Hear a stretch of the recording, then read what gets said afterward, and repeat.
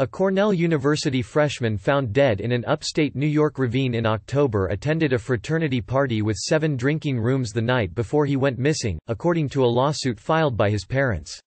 Antonio Tsialas, an 18-year-old from Miami, went missing on October 24. His body was found two days later in a gorge in Ithaca.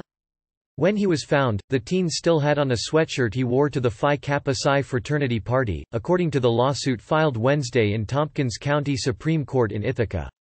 A white shirt he had been wearing underneath was located along the side of the gorge in a bush. The white shirt had vomit on it and the imprint of a shoe or sneaker, the suit says.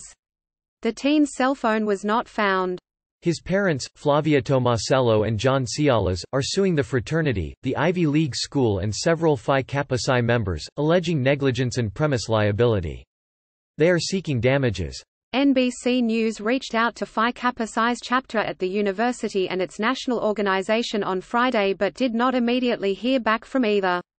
On the night of October 24, Antonio had dinner with his mother, who was visiting for the university's Parents' Weekend, the suit says. He and a group of other Cornell freshmen were then allegedly driven by Phi Kappa Psi members to their chapter house on campus for an event that the lawsuit says was unauthorized and illegal because alcohol would be served to underage students. Upon entering the chapter house, the group was told they could not have phones and were prohibited from recording or taking photos, the suit alleges. They were also instructed to lie if they were asked about being at the house that night, according to the suit.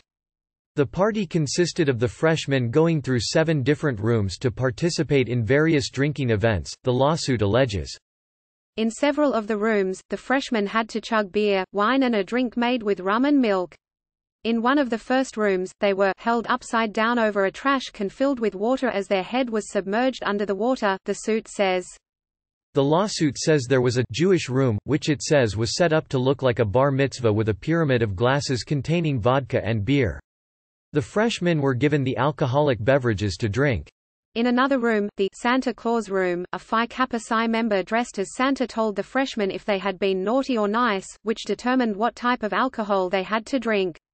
All freshmen were then given a full bottle of vodka and told they had to finish drinking it before they could leave the room. In the final room, the freshmen took shots of alcohol.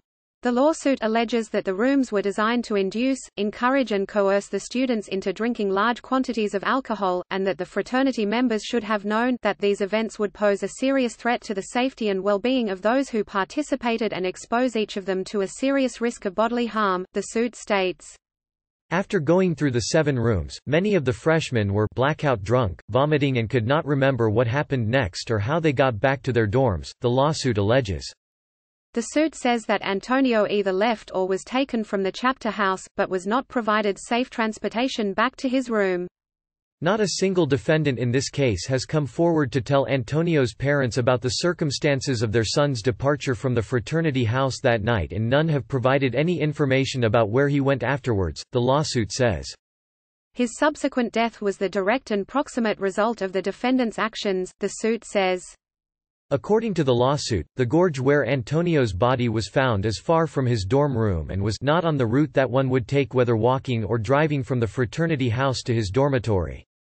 Cornell University police previously said that no foul play is suspected in Antonio's death.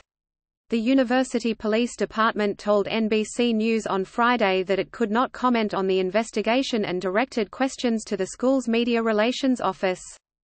Cornell University said in a statement that it cannot comment on pending litigation. The Cornell University police continue to actively investigate Antonio Tsialas's death, the statement read. We continue to ask anyone who may have information related to the incident to contact us.